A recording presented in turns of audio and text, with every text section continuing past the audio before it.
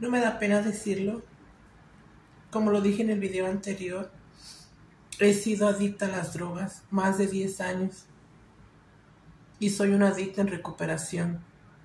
Ya no quiero mirar atrás porque quiero cambiar. Así es que tú, si estás en drogas, sí se puede. Échale ganas.